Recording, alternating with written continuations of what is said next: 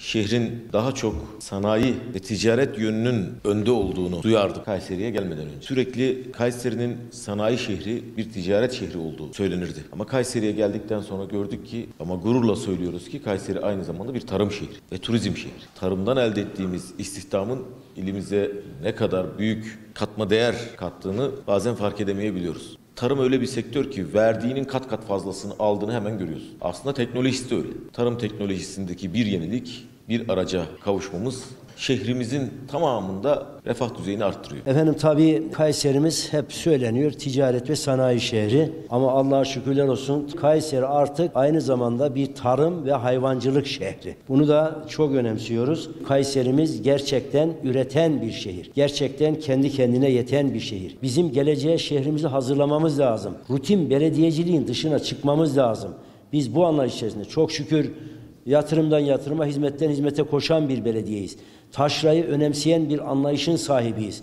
Çünkü taşra bizim için olmazsa olmaz. Kayseri Ticaret Borsası ile beraber 2022-23 yılında uyguladığımız bir proje vardı. Kayseri Et ve Et, Ürünleri Geliştirme İstasyonu adı altında Karpuz Atan'da yaptığımız bir iş vardı. Bu proje gerçekten bizim uyguladığımız, destek verdiğimiz, mali destek sağladığımız projeler arasında ön plana çıkan Türkiye'de iyi bir e, başarı grafiği sergilemiş bir ürün geliştirme, bir araştırma merkezi kabiliğinden oluşturmuş çok güzel bir tesisti.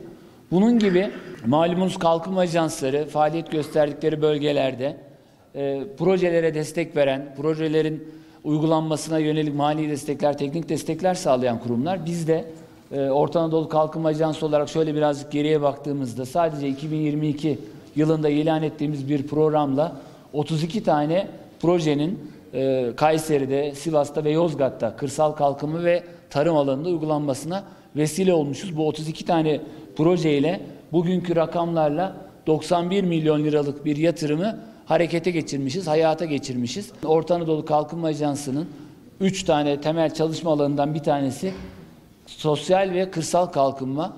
Dolayısıyla bu alanda da var olmaya gayret ediyoruz. Fikri olan, projesi olan, yol almak isteyen paydaşlarımıza destek olmaya e, kıymetli valimizin, belediye başkanımızın ve yönetim kurulu üyelerimizin desteğiyle biz de var olmaya gayret ediyoruz. Yaşanan son 20 yılda bilgi teknolojilerinin tarımın bir parçası haline gelmesiyle birlikte akıllı tarım dönemi başlamıştır. Ülkemizde bu gelişim ve dönüşümde geri kalmamak adına yeni teknolojiler kullanılarak üretimde verimlilik artışı ile kaynakların daha etkin kullanılmasını sağlamaya çalışıyor. Kuruluşuna katkı verdiğimiz tarıma dayalı ihtisas organize sa- sanayi bölgesi bu hedefe ulaşmada öncü rol oynayacaktır inşallah. Tarım aynı zamanda sosyal adalettir. Herkesin bu gerçeğe göz ardı etmeden sürdürülebilir bir tarım ekosistemi kurmak için yeni tarım teknolojilerinin sektöre entegrasyonu konusunda tüm paydaşların elini taşın altına koyması gerektiği kanaatindeyim. Artık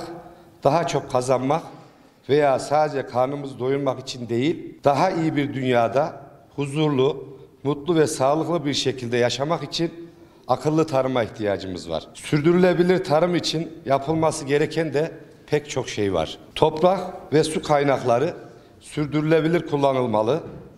Çiftçinin sürdürülebilir tarım yapılabilecek finansal gücü olmalı. Finans yapısı güçlendirilmeli.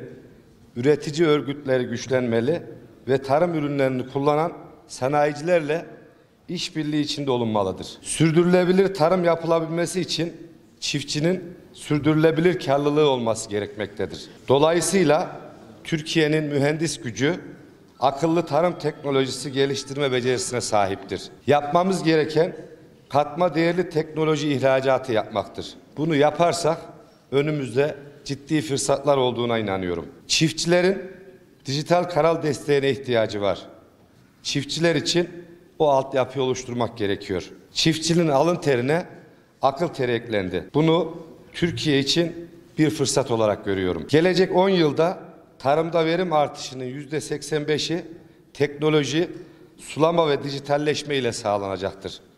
Yüzde 10'u ikincil ürünlerde, yüzde 5'i ise yeni tarım alanlarında oluşacaktır. Bilindiği üzere gıda güvenliği gelecek yüzyılda ülkemiz ve dünya için en önemli mesele haline gelecektir. Bu panel bölgemizin kalkınma yetkinliği envanterinde önemli üretici güçler olan çiftçilerimizi ve sektör yöneticilerimizi bir araya getirerek akademi faydasında ortak kılıyor.